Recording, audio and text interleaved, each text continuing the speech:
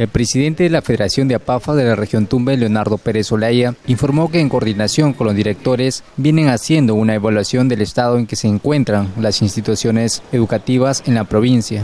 Ya hemos visto, vamos la 05 en la Nuestra Señora de las Mercedes, que se encuentra realmente una infraestructura mal. En, lo, en la cuestión de mobiliario mal.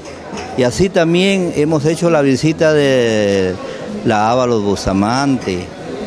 Hemos hecho la visita también aquí de lo que es la, la 06.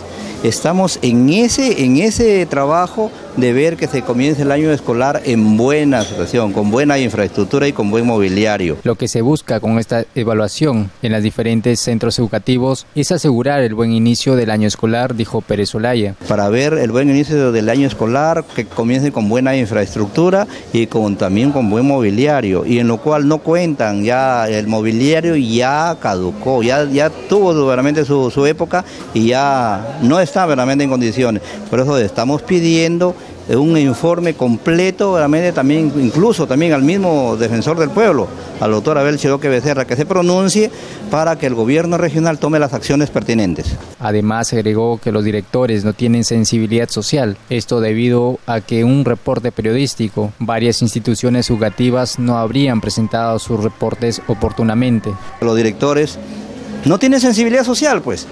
Eso es, yo le pido a los directores que tengan sensibilidad social y capacidad para dirigir verdaderamente una institución educativa, porque hay directores, incluso imagínate que no han, no han rendido, no han, no han rendido verdaderamente el examen como es el director del Triunfo, el director de la 13 y directores que tienen años, imagínense.